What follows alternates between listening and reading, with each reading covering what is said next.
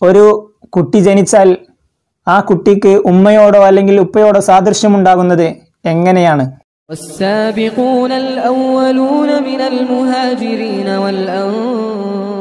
അസ്സലാമു അലൈക്കും വറഹമത്തല്ലാഹി വബർക്കാത്തു ബിസ്മില്ല അലഹമുല്ല അസ്സലാത്തു വസ്സലാം വാല അഷ്റഫി റസുലില്ല വാല ആലിഹി വസഹബിഹി അജ്മായി സ്നേഹമുള്ള സുഹൃത്തുക്കളെ മദീനയിലെ പ്രമുഖമായ ബനു കൈനുക ഗോത്രത്തിലെ പ്രസിദ്ധനായ പണ്ഡിതനായിരുന്നു ജൂത പണ്ഡിതനായിരുന്നു അബ്ദുല്ലാഹിബിനു സലാം അലി അള്ളാഹു താലാൻഹു അദ്ദേഹത്തെ സംബന്ധിച്ചാണ് ഇന്ന് സംസാരിക്കുന്നത്. അദ്ദേഹത്തിന്റെ യഥാർത്ഥ നാമം ഹുസൈൻ ബിൻ സലാം എന്നായിരുന്നു. അള്ളാഹുവിന്റെ പ്രവാചകരെ അംഗീകരിച്ചുകൊണ്ട് വിശുദ്ധമായ ഇസ്ലാമിലേക്ക് കടന്നു വന്ന സന്ദർഭത്തിൽ പുണിനബി സല്ലാ അലൈഹി സ്വലമ തങ്ങൾ അദ്ദേഹത്തിന് ഹുസൈൻ എന്ന പേര് മാറ്റി അബ്ദുള്ള എന്ന നാമം നൽകി. അന്നു മുതലാണ് അദ്ദേഹം അബ്ദുല്ലാഹ് ബിനു സലാം എന്ന പേരിൽ അറിയപ്പെട്ടത് റലിയല്ലാഹു താലാൻഹു അദ്ദേഹത്തിന്റെ ജീവിതം തന്റെ ജനതയിൽ നിന്ന് എല്ലാം വ്യത്യസ്തമായിരുന്നു. തന്റെ ഓരോ ദിവസവും അദ്ദേഹം മൂന്നായി വിഭജിക്കുകയും അതിന്റെ ആദ്യ ഭാഗം തന്റെ ജനതയോട് തന്റെ മതപ്രവർത്തനം നടത്തുവാനും പ്രബോധനം നടത്തുവാനും ആരാധനയ്ക്കു മറ്റുമായി ഉപയോഗപ്പെടുത്തുകയും രണ്ടാമത്തെ ഭാഗം തന്റെ തോട്ടത്തിൽ കൃഷി ചെയ്തുകൊണ്ട് അധ്വാനിച്ചുകൊണ്ട് തന്റെ ജീവിത മാർഗം കണ്ടെത്തുന്നതിനും മൂന്നാമത്തെ ഭാഗം തന്റെ മതത്തിൽ ഒരുപാട് പാണ്ഡിത്യം കരസ്ഥമാക്കുവാൻ വേണ്ടി തൗറാത്തിൽ ആഴമേറിയ പഠനം നടത്തുവാനുമാണ് അദ്ദേഹം ഉപയോഗിച്ചിരുന്നത്. വളരെ സൂക്ഷ്മതയോടുകൂടി ജീവിച്ചിരുന്ന അദ്ദേഹം എപ്പോഴും തൗറാത്ത് വായിക്കുമ്പോൾ മക്കയിൽ ഒരു അന്ത്യപ്രവാചകൻ ആഗമനം ചെയ്യുന്നുണ്ട് എന്ന ആ സന്തോഷ വാർത്ത തൗറാത്തിൽ കാണുമ്പോഴെല്ലാം അദ്ദേഹം ഒരുപാട് സമയം ആ തൗറാത്തിലേക്ക് ആ ഭാഗത്തേക്ക് അങ്ങനെ നോക്കി നിൽക്കും. എന്നിട്ട് അദ്ദേഹം എപ്പോഴും ഒരുപാട് ആഗ്രഹിക്കും. അള്ളാഹുവിനോട് പ്രാർത്ഥിക്കും.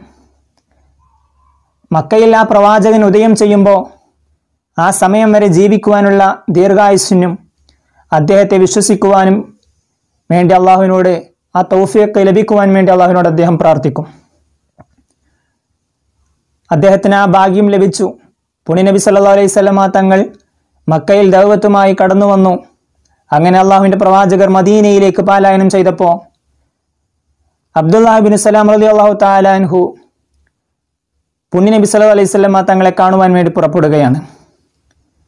ഹബീബായ തങ്ങൾ മദീനയിലെത്തിയപ്പോൾ അവിടുത്തെ കാണുവാൻ വേണ്ടി വന്ന ഒരുപാട് ആളുകളുടെ കൂട്ടത്തിൽ ബഹുമാനപ്പെട്ട അബ്ദുല്ലാഹിബിൻ സലാം അലി അള്ളാഹു താലാൻഹും ഉണ്ടായിരുന്നു.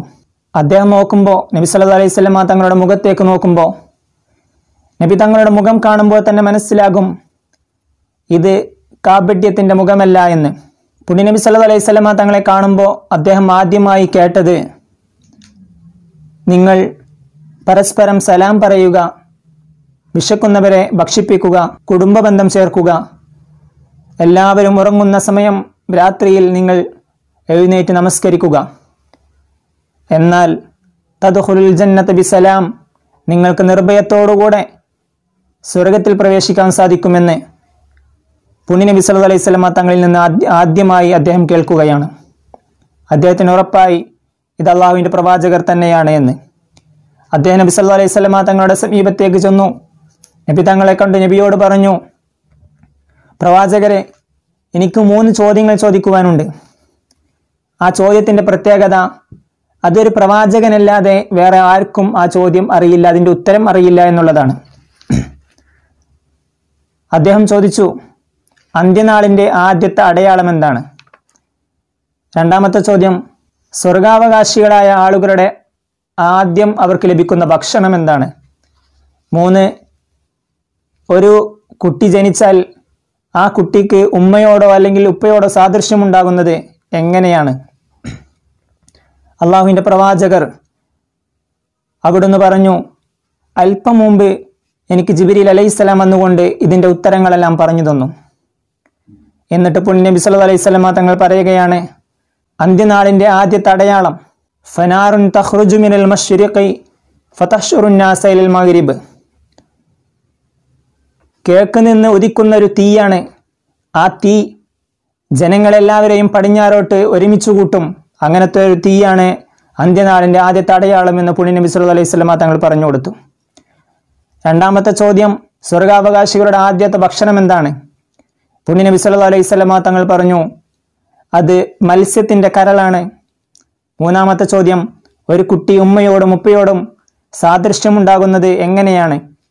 പുണ്യ നബി സല്ലു അലൈഹി സ്വലമ തങ്ങൾ പറഞ്ഞു ഒരു പുരുഷന്റെ വെള്ളം അത് സ്ത്രീയേക്കാൾ അതിജയിക്കുമ്പോൾ ആ കുട്ടി പുരുഷനോടും പിതാവിനോടും അതല്ല സ്ത്രീയുടെ വെള്ളം പുരുഷനേക്കാൾ അതിജയിക്കുകയാണെങ്കിൽ ആ കുട്ടി ഉമ്മയോടും സാദൃശ്യമുണ്ടാകുമെന്ന് പുണ്യ നബി സല്ലല്ലാഹു അലൈഹി സ്വലമ തങ്ങൾ പറഞ്ഞു കൊടുത്തപ്പോൾ അദ്ദേഹം പുണ്യ നബി സല്ലല്ലാഹു അലൈഹി സ്വലമ തങ്ങൾ അംഗീകരിച്ചുകൊണ്ട് അഷ്ഹദു അന്ന മുഹമ്മദ് റസൂലുള്ള അള്ളാഹുവിന്റെ പ്രവാചകരെ അംഗീകരിച്ചുകൊണ്ട് വിശുദ്ധമായ ഇസ്ലാമിലേക്ക് കടന്നു വരികയാണ്.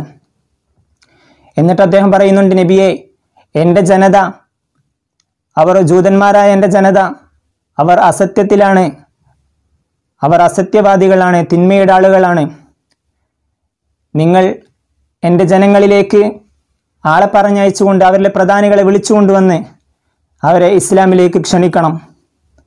എന്നിട്ട് അവർ അത് നിരസിക്കുകയാണെങ്കിൽ അവരിലെ പണ്ഡിതനായ അവരിലെ പുരോഹിതനായ ഞാൻ വിശുദ്ധമായ ഇസ്ലാമിലേക്ക് കടന്നു വന്ന സന്ദർഭം എന്നെക്കുറിച്ച് നിങ്ങൾ അവരോട് പറഞ്ഞു കൊടുക്കണം.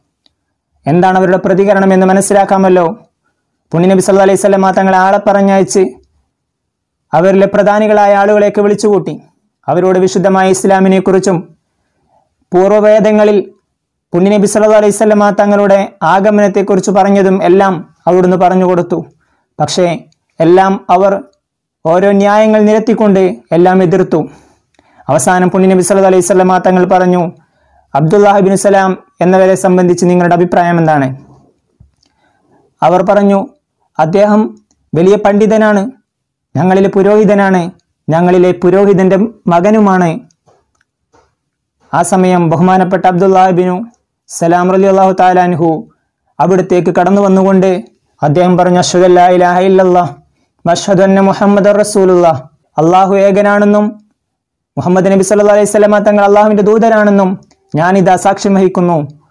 നമ്മുടെ പൂർവവേദങ്ങളിൽ നമ്മുടെ തൗറാത്തിൽ പറഞ്ഞ പ്രവാചകർ ഈ പുണ്യ നബി സല്ലു അലൈഹി തങ്ങളാണ് എന്ന് ഞാൻ ഇത് അവാസ്തവമാക്കുന്നു എന്ന് പറഞ്ഞപ്പോൾ ആ സമയം അവരുടെ മട്ടുമാറി. അവർ പറഞ്ഞു നീ ഞങ്ങളിലെ കള്ളനും കള്ളന്റെ മകനുമാണ്. നിന്റെ പിതാവും ഇതേ പ്രകാരം തന്നെയാണ് എന്ന് പറഞ്ഞുകൊണ്ട് അവർ അവിടെ നിന്ന് മടങ്ങിപ്പോവുകയാണ്. ബഹുമാനപ്പെട്ട അബ്ദുല്ലാഹിബിൻ സ്വലാം അലി അള്ളാഹു താലാനു പുണ്യ നബിയോട് പറഞ്ഞു നബിയെ ഞാൻ നിങ്ങളോട് പറഞ്ഞില്ലേ എന്റെ ജനത അസത്യവ്യാധികളാണ് എന്ന്. അങ്ങനെ മഹാനായ അബ്ദുല്ലാഹിബിൻ സലാം അലി അള്ളാഹു താലാൻഹു പുണ്യ നബി സല്ലല്ലാഹു അലൈഹി സ്വലാമ തങ്ങൾ അംഗീകരിച്ചുകൊണ്ട് അവിടുന്ന് ജീവിക്കുകയാണ്. മഹാനായ അബ്ദുല്ലാഹിബിൻ സലാം അലി അള്ളാഹു താലാൻഹുവിനെ സംബന്ധിച്ച് അള്ളാഹുവിന്റെ പ്രവാചകർ അദ്ദേഹം സ്വർഗാവകാശിയാണ് എന്ന് പറഞ്ഞതായിട്ട് ഒരു ഹദീസിൽ നമുക്ക് കാണാൻ സാധിക്കും. നബി സല്ലു അലൈഹി സ്വലമ തങ്ങൾക്ക് അല്പം റൊട്ടി ഹദിയയായി ലഭിച്ചു. അവിടുന്ന് ആ റൊട്ടി അല്പം ഭക്ഷിച്ചുകൊണ്ട് അതിൽ നിന്ന് കുറച്ച് ബാക്കി വെച്ചു. എന്നിട്ട് പുണ്യ നബി സല്ലാ അലൈഹി സ്വലമ തങ്ങൾ പറഞ്ഞു യദ്ഖുലു മിൻ ഹാദൽ ഫജ്ജി മിൻ നബി അലൈഹി തങ്ങൾ പറഞ്ഞു ഈ വഴിയിലൂടെ ഒരാൾ ഒരു സ്വർഗാവകാശിയായ ഒരാൾ ഇപ്പോൾ കടന്നു വരും എന്നിട്ട് അദ്ദേഹം ഈ ഞാൻ അവശേഷിച്ച ഈ ബാക്കി റൊട്ടിയിൽ നിന്ന് അദ്ദേഹം ഭക്ഷിക്കുമെന്ന് പുണ്യ നബി സല്ല അലൈഹി സ്വലമ തങ്ങൾ പറഞ്ഞു. അങ്ങനെ എല്ലാവരും ആരായിരിക്കും ആ വരുന്ന ആൾ എന്ന് പ്രതീക്ഷിച്ചുകൊണ്ടിരിക്കുമ്പോൾ ആ വഴിയിലൂടെ ബഹുമാനപ്പെട്ട അബ്ദുല്ലാഹിബിൻ സലാം റലി അള്ളാഹു താലാൻഹു കടന്നു വരികയാണ് അങ്ങനെ അദ്ദേഹം വന്നുകൊണ്ട് നബി സല്ലല്ലാഹു അലൈഹി സ്വലമ തങ്ങൾ ബാക്കി വെച്ച ആ റൊട്ടിയിൽ നിന്ന് ഭക്ഷിക്കുകയാണ്. അങ്ങനെ അള്ളാഹുവിന്റെ പ്രവാചകർ അദ്ദേഹത്തെ സ്വർഗാവകാശിയാണ് എന്ന് രേഖപ്പെടുത്തിയ മഹാനായിരുന്നു ബഹുമാനപ്പെട്ട അബ്ദുല്ലാഹിബിൻ സലാം അലി അള്ളാഹു താല അൻഹു.